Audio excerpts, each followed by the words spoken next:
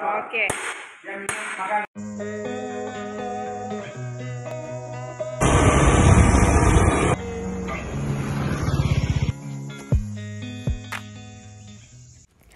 Assalamualaikum warahmatullahi wabarakatuh. Apa cerita Ati Tri hari ini? Okeylah, sebelum akak mulakan, akak doakan kepada yang melihat video ini dimurahkan rezeki serta disihatkan tubuh badan.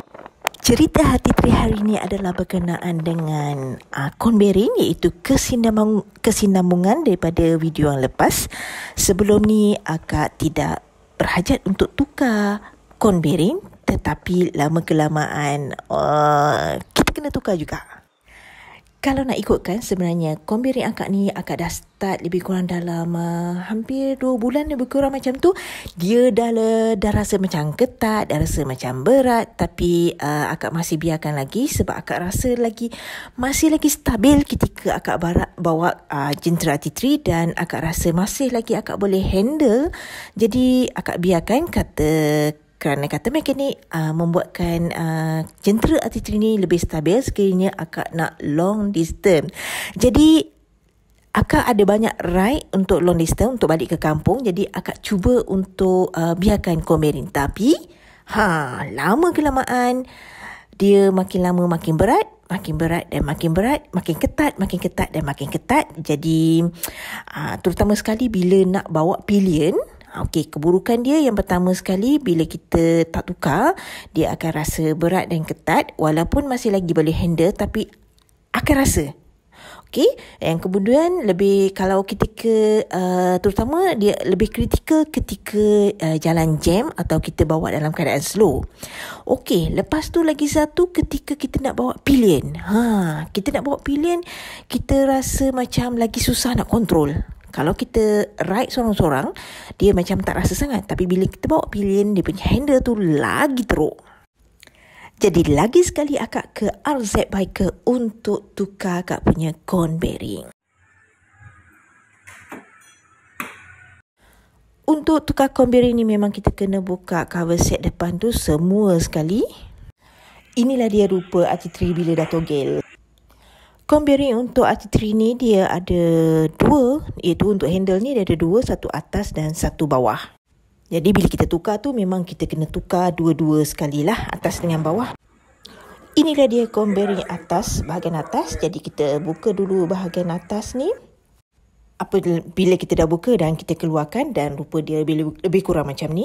Bila kita buka, kita nampak dia dah hampir nak uh, rosak. Lepas tu dia punya grease pun dah kering. Bearing atas tu uh, senang je nak buka tapi yang bawah tu agak susah sikit. Ini dia bearing bahagian bawah. Bila kita dah buka, uh, dia memang dah teruk uh, sangat-sangat. Jadi bila kita dah buka tu kita tukar, kita letak grease yang baru sama juga bahagian atas dengan bawah. Jadi bila dah pasang kedua-duanya bearing kon ni jadi kita pasangkan balik semua seperti biasa. Kalau dekat RZ Bikers ni lebih kurang kos dia untuk kita tukar ke uh, kita pakai uh, konberin dekat kedai dan uh, kos uh, semua sekali lebih kurang dalam 130 tetapi kalau kita ada konberin kita bawa sendiri uh, lebih kurang dalam 100. Yang ni harga masa akak tukar hari tu. Jadi sekiranya mungkin ada perubahan itu tertakluk pada kedai dan juga uh, dari segi uh, bahan mentah yang dia spare part yang dia dapat uh, itu mengikut pada harga kedai dari masa ke semasa lah.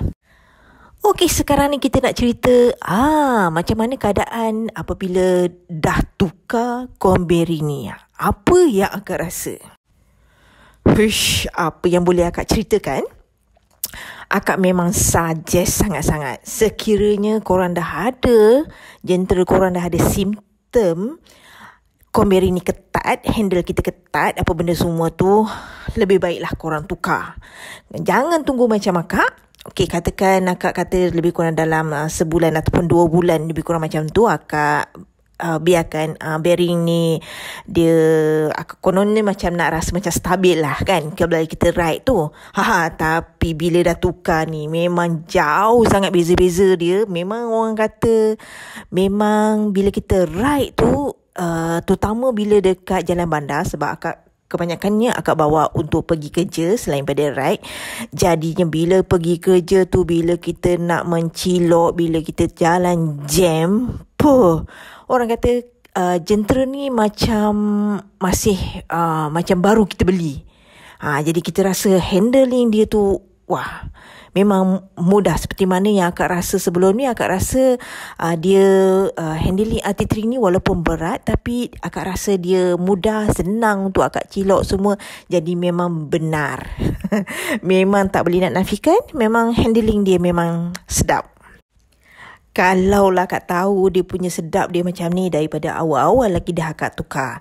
Kenapa akak tak tukar? Kerana Conberry akak ni dia macam keadaan dia sikit sikit sikit sikit dia tidak terus ada setengah orang dia memang bila handle tu memang dia terus ketat jadi nak tak nak memang dia kena tukar lah tapi akak punya case dia punya ketat dia tu macam dia sikit sikit sikit sikit jadi akak tak rasa sangat tapi lama kelamaan barulah terasa macam rasa berat je macam tu ah okey jadi akak suggest jangan tunggu lama-lama terus ditukar kalau dah ada rasa ketat. Sebab apa yang korang dapat, huh, memang sedap. Okey, lepas tu apa lagi projek akak? Okey, ni projek ni uh, RZ Baker sebenarnya dia nak buat uh, R&D. Jadi akak pun setuju sebab akak kata akak punya masalah uh, fork. Akak punya fork tu agak keras sikit. Jadi uh, RZ Baker dah modikan satu fork untuk akak dan cuba pasang dekat akak punya centra. Tetapi kalau nak dengar cerita pasal fork kan ni, mungkin kita tunggu akak punya review untuk next video sebab sekarang ni masih lagi baru akak pasang. Jadi belum akak dapat lagi ceritakan dia punya kesedapan ke atau apa. Tetapi apabila um, mekanik dan ada ada kawan yang dah try akak punya fork ni katanya uh, dah sedap. Tapi akak tak sure jadi akak sini akak tak dapat nak cerita sebab uh, masih lagi baru dan masih masih lagi dalam peringkat orang kata R&D try and error je lah. Sekiranya tak okay akak akan tukar balik kepada fork yang asal tapi sekiranya okey insyaallah akak akan terus pakai je uh, fork ni.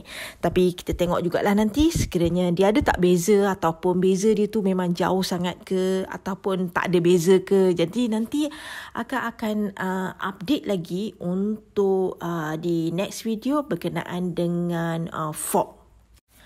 Okey, akak rasa setakat ini saja untuk kali ini cerita pasal update pasal comb bearing. Uh, nasihat dah kak, kalau con bearing korang dalam mula terasa ketat, tukar saja yang baru. Jangan tunggu-tunggu sebab sedap. Bila kita dah tukar tu, kita akan rasa macam fresh seperti jentera RT3 yang baru kita beli. Okay, untuk next video, akak akan update pasal um, R&D uh, Ford depan. Akak telah tukar. Dan kemudian... Hmm, ada lagi beberapa aksesori yang akak telah tambah untuk RT3 akak. Jadi ini semua akak akan cerita di next video. Okay, jangan lupa subscribe dan tunggu next video daripada akak. Sekian untuk kali ini. Assalamualaikum.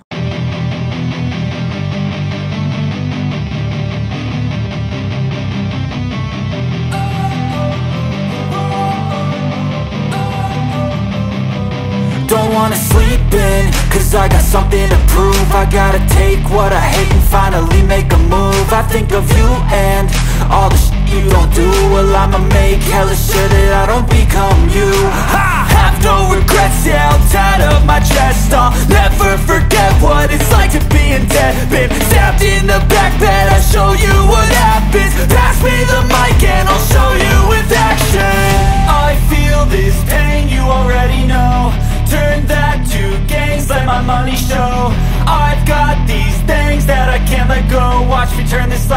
something that you can never own.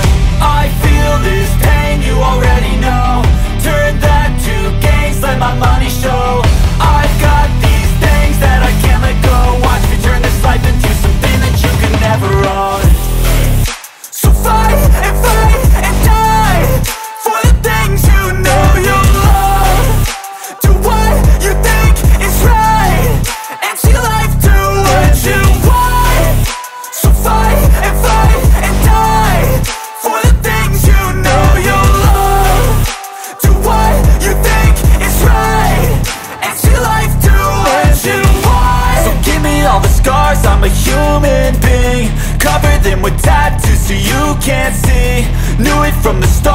had problems with me And the things I could be, I just wish I had seen. I feel this pain, you already know.